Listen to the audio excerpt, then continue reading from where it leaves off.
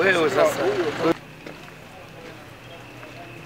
Sasa janga kuezuliwa pawa hili kwa sababu ya nini? Fundi alituambia ni bati mia nne zitakuwa zimekamilika, kumbe ni zaidi ya bati mia nne. Tulipoezeka upepo ulikuja.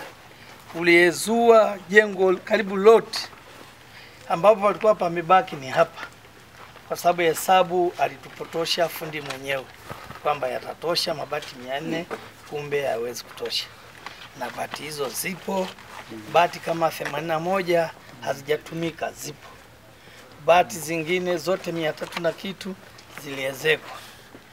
Kwa hiyo mapungufu hayo ndio tunayo. Tuiombe ofisi ya mkuu wa mkoa, nina imani kabisa kwamba wao wana uwezo wa kuweza kutusaidia ili kuweza kukamilisha jengo hili. Umesema swala la kuenzuliwa bati. Kuenzuliwa bati ni mabadiliko ya tabia nchi, na mabadiliko ya tabia nchi yanasababishwa na uharibifu wa mazingira. Nimeona kwenye mto kule nimepita hapa, yani mazingira yanaonekana, uharibifu wa mazingira huko mkubwa.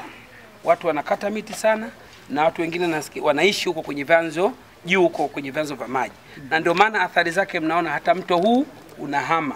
Kwa hiyo nitoe wito kwa wananchi, pamoja na kulima mpunga, kulima mahindi, tupandeni miti ili kwa ajili ya kuzu, kutunza mazingira, kutunza na hali za upepo huu.